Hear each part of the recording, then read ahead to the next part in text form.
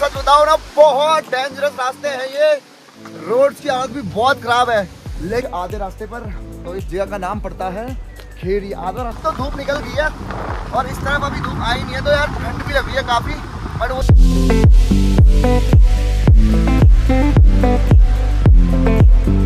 तो आपको देखो, कुछ नहीं करना आपको सीधा नीचे की तरफ़ थ्रो कर देना और मछली आके खुद ही खा लेंगी फिर।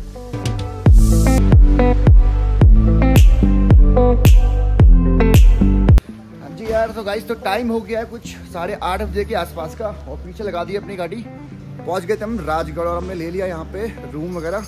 तो रुकेंगे यार यहाँ पे अभी हम लोग, और मॉर्निंग अर्ली मॉर्निंग हम लोग निकलेंगे सीधा रेणुका जी के लिए। गया हूँ बहुत ज़्यादा। चलो यार, थोड़ा सा रेस्ट किया जाए, थोड़ा सा मैं आपको दिखाता हूँ रूम वगैरह। वैसे एक चीज़ बता दूँ यार, यहाँ पे ना आपको रूम्स वगैरह की थोड़ी दिक्कत, परेशानी आ जाएगी। यहाँ पे मिलते नहीं है नॉर्मली तो बट हमने फिर भी ढूंढ निकाला।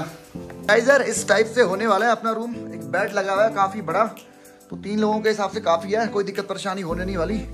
तो इस टाइप का है यार ओवरऑल अपना रूम तो ठीक है यार रूम का प्राइस भी मैं आपको बता दूँगा कि कितने का हमें पड़ा है, क्या चीज़ें पड़ी है सारी। तो पहले तो यार, सबसे पहले जाके हम अपने लिए ले आते हैं खाना भरना यार, आज हम लोग रहने वाले हैं फिर भूखे, क्योंकि आपको पता है, यहाँ पे यार एक छोटा सा टाउन है तो इन जगह पे मार्केट वगैरह बहुत जल्दी क्लोज हो जाती है। तो यार जा रहे हैं हम लोग कुछ खाना वगैरह लेने के लिए क्योंकि यार आपको पता ही है मुश्किल से मिला है तो यार वहाँ पे रेस्टोरेंट होने की उम्मीद तो काफ़ी दूर की बात है। आपको एक चीज़ और बता दूँ यार जो राजगढ़ है ना गाइस थोड़ा स्पेशल भी है मेरे लिए। टाइम पे बहुत ज़्यादा आने का मन था यहाँ पर मैं कभी आ नहीं पाया उस टाइम पे। बट देखो आज आ गया। है एक स्टोरी अगर आप जानना चाहते हो स्टोरी तो कमेंट करके बता देना मेरे को। The next morning. हाँ जी गुड मॉर्निंग यार सबको। और जैसा आपको पता ही था कि कल हम लोग रुक गए थे नाइट में, राजगढ़ एक जगह पड़ती है बीच में, राजगढ़ में हम लोग रुक गए थे। और अभी हम लोग निकल रहे हैं यहाँ से सीधा रेणुका जी के लिए। तो यार अभी सुबह के बज रहे हैं सात, क्योंकि रास्ता भी थोड़ा आगे ख़राब होने की आशंका है। और दूसरी बात भी यार हमें आज ही वापस आना है तो इसलिए हम लोग जल्दी मॉर्निंग में उठ गए थे।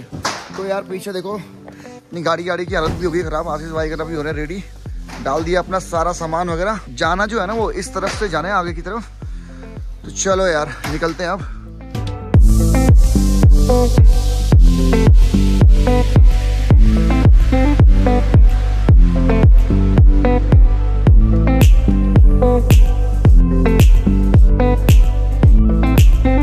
अभी हम लोग पहुँचे हैं कुछ आधे रास्ते पर तो इस जगह का नाम पड़ता है खेड़ी। आधा रास्ता तो नहीं है बट राजगढ़ से हम ऑलमोस्ट 18 टू 20 किलोमीटर्स आ गए हैं, मेरे हिसाब से।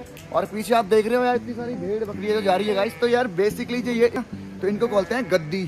तो यार एक्चुअली ये लोग क्या करते हैं कि एक जगह पे नहीं जाते हैं, अपने जितने भी मवेशी वगैरह होते हैं, उन सबको लेके अलग अलग जगहों पे घूमते रहते हैं। और इनके पास होते हैं वो वाले कुत्ते, जैसा कि आपको मैंने केदारनाथ वाले ट्रैक पे दिखाया था, भोटिया प्रजाति की। तो जिसने अभी तक वो ब्लॉग नहीं देखा यार तो प्लीज़ जाके वो ब्लॉग भी देखो, आप ऊपर आई बटन पे आ जाएगा। और चलो यार, आपको नज़ारा दिखाता हूँ अभी यहाँ के। क्योंकि इनको भी जाने में तो थोड़ा सा टाइम लगेगा। तब तक मैं आपको दिखाता हूँ, नीचे नदी के नज़ारे पीछे की तरफ़ आपको दिख ही रही होगी इस तरफ़ से। चलो यार, थोड़ा सा वेट करते हैं कि एक बार वो लोग निकल जाएँ, फिर उसके बाद हम लोग निकलते हैं आगे के लिए।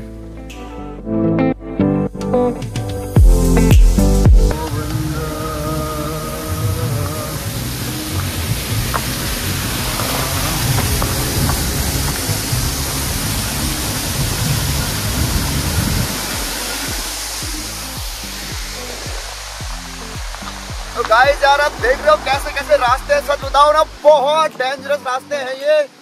रोड की हालत भी बहुत खराब है। लेकिन सच बताओ जो एडवेंचरस एक्सपीरियंस है ना गाइस वो भी बहुत मज़ेदार हो रहा है अभी तक तो। बट यार, आगे दिखाता हूँ रोड की हालत, देखो आप लोग। ऐसी ऐसी रोड है यार।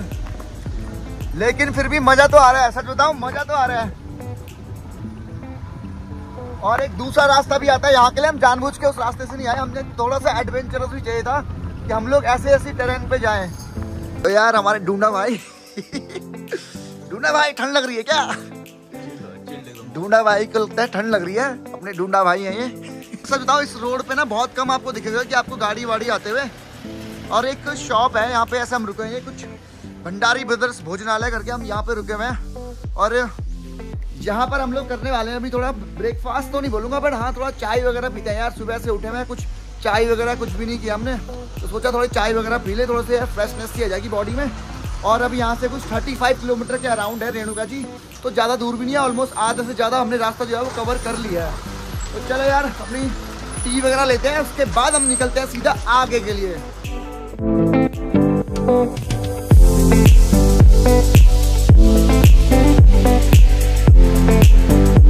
यार, आप गाइस देख रहे हो गाइस नजारे देख रहे हो, पीछे की तरफ़ आपको दिख रहे होंगे यार, रोड भी काफ़ी डेंजरस मज़ा आ रहा है वैसे तो। और एक चीज़ और बोलनी थी यार गाइस आप लोगों से जिसने भी मेरे चैनल को अभी तक सब्सक्राइब नहीं किया तो प्लीज़ यार जाके चैनल को सब्सक्राइब कर दो वीडियोस पे लाइक कर दो कमेंट करके बताना, इसके अगला ट्रिप आप कौन सा देखना चाहते हो या कौन सी जगह आप लोग चाहते हो कि हम आपको घुमाएँ। तो चलो यार, थोड़े से नज़ारे दिखाता हूँ आपको पीछे की तरफ़ आप देख ही पा रहे होंगे। और सच बताओ यार, रोड्स की हालत भी इतनी कुछ खास है नहीं बट हाँ मैं आपको जैसे हमेशा की तरह बोलता हूँ यार कि अगर आपको पहाड़ पे गाड़ी चलाने का अच्छा एक्सपीरियंस है, तभी आप लोग पहाड़ पे गाड़ी चलाने के लिए आए गाइस अदरवाइज़ आप अपने साथ किसी एक्सपीरियंस वाले बंदे को लेके आए या बंदी को लेके आए। समझ रहे हो ना? समझ रहे हो?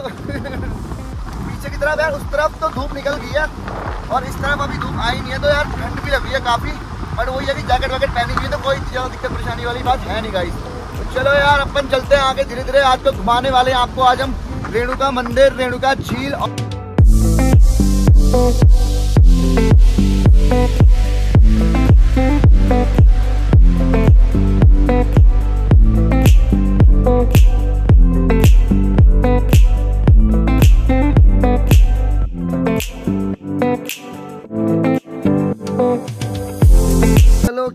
जी तो फाइनली यार, चार, साढ़े चार घंटे की ड्राइव करने के बाद हम लोग पहुँच चुके हैं रेणुका जी मंदिर के पास। जी हाँ तो ये पीछे हम अपनी गाड़ी लगा ली अपने पार्किंग में और आप पीछे देख पा रहे यार, यहाँ से जो है लेक वगैरह हो गई है शुरू।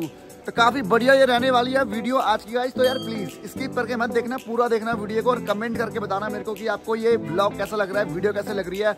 और बाकी सारी यार हमारे और भी सारे ब्लॉग्स है तो वो भी जाके आप ज़रूर देखो यार।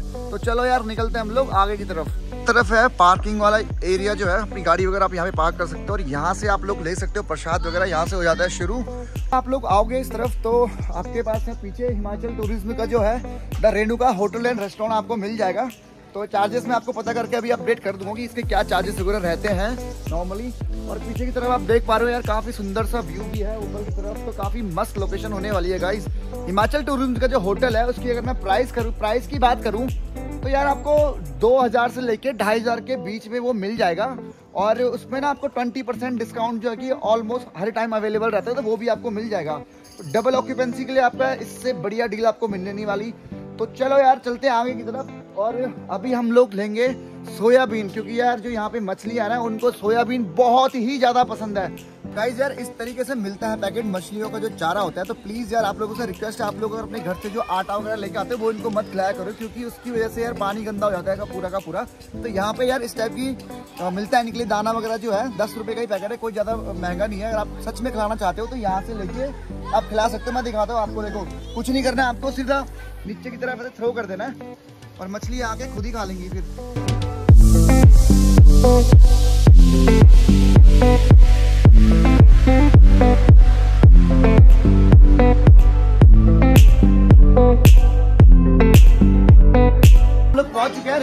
के जो प्राचीन मंदिर है उसकी तरफ़। बस अभी हम लोग यहाँ पे ना शूज़ वगैरह वही अपना शूज़ वगैरह उतार के, फिर आप सामने की तरफ़ से आप देखेंगे वहाँ से अपना हाथ वगैरह धो के, पाँव वगैरह छाल के, फिर चलते हैं अंदर की तरफ़। दिखाता हूँ मैं आपको और साथ ही बताऊँगा क्या है इसकी पूरी स्टोरी यार सामने स्कूल के बच्चे वगैरह भी आ रखे हैं यहाँ पे। जैसे कि आप लोगों का हॉलीडे टाइप का होता है ना, एक दिन घूमने का हमारा भी होता है स्कूल टाइम में। तो काफ़ी सही है यार, आना चाहिए आप लोगों के, हमारे धार्मिक स्थलों में। तो जी गाइज़ पहुँच चुके हैं हम माता के मंदिर के प्रांगण में गाइस और पीछे अभी बच्चे हैं स्कूल के काफ़ी तो वो लोग दर्शन कर रहे हैं। एक बार वो दर्शन कर ले, उसके बाद हम लोग दर्शन करेंगे और आप लोगों को भी दर्शन करवाएँगे गाइस तो यार, एक ये चीज़ में सबसे अच्छी लगी है कि अभी हमारे जो स्कूल के बच्चे हैं, जो हमारा एक नया जनरेशन वाला यूथ जो आने वाला है ना तो उसको हमारे धार्मिक स्थलों के बारे की जानकारी होना बहुत ज़रूरी है।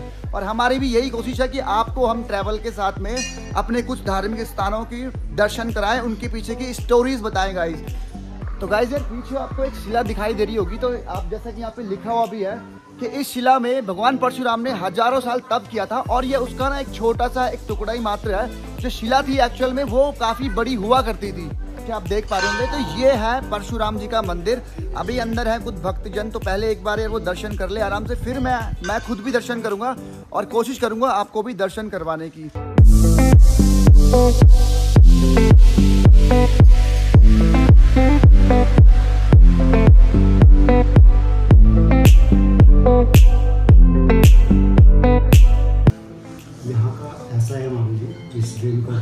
के बारे में थोड़ा मैं संक्षिप्त में कहना चाहूँगा जी। कि जो भगवान तो परशुराम जी हैं ये तीर्थ माता रेणुका जी के नाम से हैं भगवान तो परशुराम जी के नाम से माता चंद्रनी जी के नाम से क्योंकि जी। तो ये महर्षि चंद्रनी जी और माता रेणुका जी की तपो भूमि रही है। जी। तो यहाँ से आठ किलोमीटर दूर दूर महर्षि चंद्रनी जी का तपे का टीला है। वहाँ पर भगवान महर्षि चंद्रनी जी और माता रेणुका जी भगवान परशुराम जी तपस्या किया करते थे। जी। और भृगु आश्रम के नाम से इनका नाम आश्रम जाना जाता था। वहाँ से माता रेणुका जी जल भरने के लिए यहाँ लेक पे आया करते थे, जहाँ से ये लेक बने हुए हैं। लेकिन उस जमाने में ये लेक नहीं थी, एक छोटा चश्मे के रूप में एक कूप बना था। उस कूप से जल भरकर आश्रम ले जाते थे माता रेणुका जी। रेणुका और बेनुका दो बहनें थी, जो बेनुका जी के पति थे, वो सहस्रबाहु थे। बहुत अत्याचारी वे एक राक्षस बेटी के राजा। तो इन, ये इन दोनों साधु भाई के बीच में कामधेनु गाय के पीछे युद्ध हुआ। उस युद्ध में महर्षि चंद्रग्नि जी का वध हो गया। बाद में माता जी का पीछा करते हैं मारने के लिए तो माता रेणुका जी जिस कूप से जल भरकर ले जाते थे, उसी कूप में आकर वो जल समाधि ले लेती है, जिसकी आज ये लेक बनी हुई है। वो कूप फट जाता है, उनके शरीर के जल में ही जल में हो जाती है। तब से वैसे भी आदमी के बॉडी की शेप की बनी हुई लेक जो है, यदि आप परिक्रमा रोड पे जाएँगे, काफ़ी कुछ पता चलेगा। आपको कि ये सर है, ये बाजू का ऐसा ऐसा सब बना हुआ है। तो फिर भगवान परशुराम जी की महेंद्र पर्वत पर तपस्या भंग हो जाती है। महेंद्र पर्वत ये उड़ीसा में गंजाम डिस्ट्रिक्ट में है। तो आते हैं और अपनी माता श्री के चरणों में रोते हैं, गिड़गिड़ाते हैं कि माता श्री, आप तो सुना गई। मुझे भी कुछ बताओ कि मेरे पिता श्री ने अंतिम समय में आपसे कुछ कहा तो है। तो इनके रोने गिड़ाने से झील से माता जी को एक बार से फिर से बाहर आना पड़ा। कहती बेटा वो अंतिम समय में कुछ नहीं कह पाए क्योंकि उनका जो सर था, वो धड़ से अलग हो चुका था, इसलिए मुख से कुछ नहीं कह पाए। लेकिन इक्कीस बार उन्होंने अपनी छाती को ज़रूर पीटा तो इसका मतलब भगवान परशुराम जी समझ चुके थे कि मुझे इस पृथ्वी से ऐसे क्षत्रियों का इक्कीस बार विनाश करना पड़ेगा, जो दुष्ट, अत्याचारी एक राक्षस होती थी। उनमें सभी क्षत्रिय नहीं थे समग्र भूमि को ऐसे क्षत्रियों से विलीन किया समग्र भूमि को लिया और लेकर कश्यप ऋषि जी को दान कर दिया। अपने पास कुछ नहीं रखा। कश्यप ऋषि जी कहने लगे कि बेटा आपने तो समग्र भूमि को दान कर दिया कर दिया चले जाओ तो इधर से चले गए और केरल में जाकर समुद्र भगवान से जगह मांगी। तो समुद्र भगवान कहते हैं कि अपना परशु फेंके जहाँ तक आपका परशु जाएगा वहाँ तक मैं खाली हो जाऊँगा। जो केरल में कन्नूर जगह है वो भगवान परशुराम जी को समुद्र भगवान जी के द्वारा दी गई। है लेकिन बाद में वहाँ पर जाकर ये सोचने लगे कि मैं तो यहाँ पर भी अपनी माता श्री से बहुत दूर आ चुका हूँ और मेरी माता ऐसे ऐसे वहाँ पर समाये हुए और मैं वैसे भी समग्र भूमि को दान कर चुका हूँ। मैं कैसे अपनी माता श्री के दर्शन कर पाऊँगा? तो जहाँ पर आज ये भगवान परशुराम जी का मंदिर विराजमान है, ये जगह अपनी माता श्री रेणुका जी से मांगी कि हे माता श्री मुझे दो हाथ जख्म में अपने चरणों में दो। मैं वर्ष में आपके दर्शन करना चाहता हूँ, आपके चरणों में एक रात गुजारना चाहता हूँ। ये माता की दी जगह भगवान परशुराम जी के लिए और उसी उपलक्ष्य में यहाँ यहाँ पर नवंबर में ठीक दिवाली के दस दिन बाद दशमी से पूर्णिमा तक पाँच दिन का मेला होता है। उस दौरान भगवान परशुराम जी किसी भी रूम में अपनी माता के दर्शन के लिए इधर आते हैं। जो लेक से बहता हुआ जल आ रहा है जी, जी। माता के चरण हैं। इनके चरणों में तो भगवान परशुराम जी का तालाब है। लेकिन आज तो तालाब है जिस समय इन्होंने इक्कीस बार में समग्र भूमि को जीता था उस समय अपनी माता के चरणों में अश्वमेध गिरा किया। यानी कि पहले हवन कुंड बना हुआ था आज ये तालाब के रूप में। तो मैंने ये संक्षिप्त में बताते जी जी बहुत बहुत धन्यवाद गुरु जी बाकी यहाँ पर बहुत दूर दूर से लोग आते जी जी जी। अपनी श्रद्धा को लेके भी आते हैं मांग कर भी जाते हैं उनका पूरा भी होता है। लेकिन ये हिमाचल क्या देवभूमि अपनी यहाँ देवभूमि है ये और बहुत अच्छा तीर्थ स्थान है। सभी आए यहाँ पर ज्ञान भगवान परशुराम जी माता रेणुका जी के दर्शन करें उनसे कुछ मांग कर जाए। जी। तो गाइस बता दी हमने, पंडित जी से बात करी मैंने और पंडित जी ने हमें बताई एक जो रियल स्टोरी है स्टोरी इस मंदिर के ऊपर बहुत सारी है, बहुत सारी कहानियाँ हैं। बट मुझे अपने मन से ऐसा लगा कि यार, उनमें से कोई भी कहानी, जैसे ना कि चार या पाँच कहानियाँ अलग अलग है तो मैंने सोचा क्यों ना यार मैं पंडित जी से बात करूँ। और पंडित जी से मैंने पूछा, फिर पंडित जी ने मुझे पूरी एक्चुअल जो कहानी है, जो पुजारी है यहाँ के उन्होंने मुझे पूरी स्टोरी बताई है मंदिर की, किस तरीके से यहाँ पे रेणुका माता का मंदिर स्थापित हुआ, किस तरीके से परशुराम जी ने जो 21 बार क्षत्रियों का इस पूरी दुनिया से नष्ट कर दिया था उनको तो उसके पीछे की जो रियल स्टोरी गाइस वो ये है। तो यार प्लीज़ जिसने भी मेरे चैनल को सब्सक्राइब नहीं किया तो प्लीज़ यार, जाके चैनल को कर दो सब्सक्राइब वीडियोस पे कर दो लाइक और कमेंट करके मेरे को बताना हमारे वीडियोस आपको कैसे लगते हैं और ऐसी शानदार और रियल स्टोरी वाली वीडियोस और ऐसी सारी जगहों के लिए प्लीज़ यार, बने रहिए हमारे साथ।